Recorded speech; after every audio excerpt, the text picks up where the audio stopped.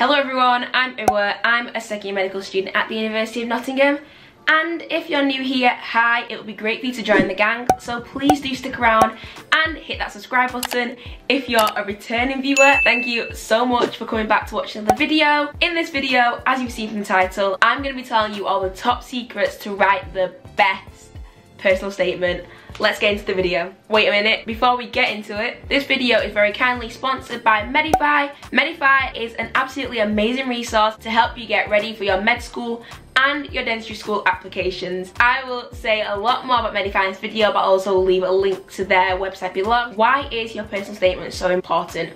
Why bother spending so much time writing it, perfecting it and making such a big deal out of it? Because it's your opportunity before the med school even meets you to show off all of your achievements towards your med school application. So it's really important to have a med school personal statement that's well written and well structured to help you secure that all important interview. So let's get started with it. Before you even write down the first word of your personal statement, you're gonna want to plan it. An author wouldn't just sit down and write an entire book with no vision or idea of the final outcome. So you're not gonna just sit down and write a personal statement not knowing where you actually want to go with it. Your personal statement essentially is your book. It's your story to getting into medicine. You're gonna wanna take your time, plan it out, and have some sort of end goal some sort of vision you're working towards. The best way to plan it out is by using mind maps. All your ideas, everything in your mind, just blurt it out onto a page. The subsections for your mind map could be but are not limited to extracurricular activities, your hobbies, your why medicine, of course, work experience, volunteering, part-time jobs. At this point, you want to literally write down everything and then worry about cutting it down later. It's better to see everything that you potentially want to include and then go and snip, cut, chop, slice, whatever you want to do, do it later. Now let's talk about writing it. Something that is very important, really, really important when it comes to writing your personal statement is structure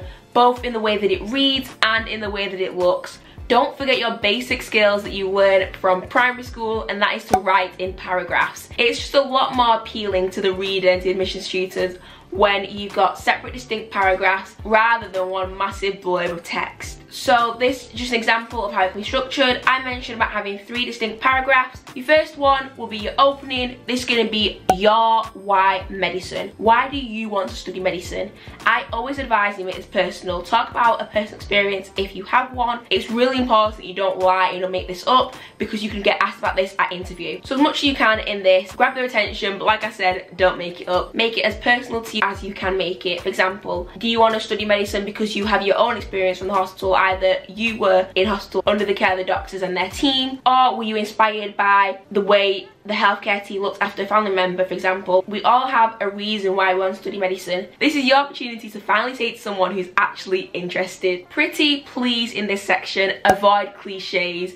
Avoid stuff like I've always wanted to study medicine since I was a kid. Maybe you have, but the chances you actually knew you wanted to go to med school when you were four or five are pretty slim. Also, please try and avoid saying that I want to study medicine because I come from a long line of doctors, everyone in my family is a doctor and I need to live up to it, or even worse, don't say I'm applying to medicine because my mum and dad want me to study medicine. No. These do not show your interest in the subject at all. Moving on to paragraph number two, the middle, the meatiest part of your personal statement. If your personal statement was a burger and the opening was the top bun, the last section is the bottom bun, the middle is going to be your juicy beef burgers topped with cheese, gherkins, tomato sauce, onions, bacon, bacon, bacon. It's gonna be the bit that's really bulked up and got the most information, literally the juiciest part of your personal statement.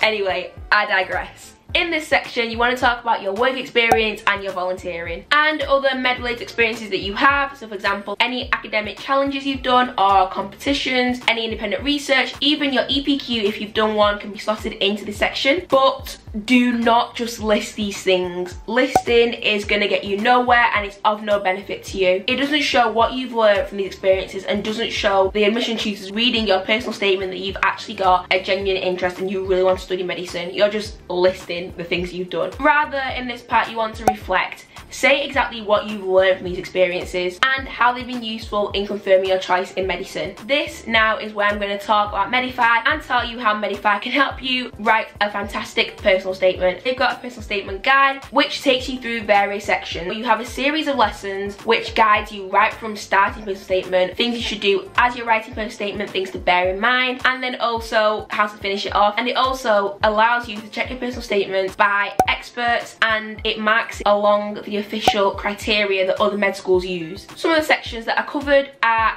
reflecting and planning. So reflecting, like I said, is really important when talking about your work experience and any med-related experiences you want to include. It gives you advice on how to write it, what to include in your introduction, your why medicine, and also your conclusions and how to finish it off. It gives you specific advice on talking about your aims and achievements. So it's really gonna help you and give you the advice that you need to show off your achievements towards applying to medical school. And finally, your last section, your final paragraph, your bottom bun, is gonna be your extracurricular activities activities such as your hobbies, your volunteering, part-time jobs. So by extracurricular, I mean mainly things that aren't related to medicine per se. Just things you do outside of college, application, things that make you you. So a lot of people do volunteer to aid their application, but if you've been volunteering for a long time before you started considering applying to medicine, this is something that you'd include in this section. It's useful to include these things because it shows that you have had the opportunity to develop certain skills that needed for a doctor, such as teamwork skills, communication skills, listening skills. My mind has gone a little bit blank right now. And also within this section, you're gonna want a final concluding sentence or two, really summarizing why you'd be an ideal candidate at this med school. So what is it in particular that you're willing to bring into med school and into your medical studies. So for example, is it your determination to work hard? Is it your diligence? Is it your passion? I'm not saying brag,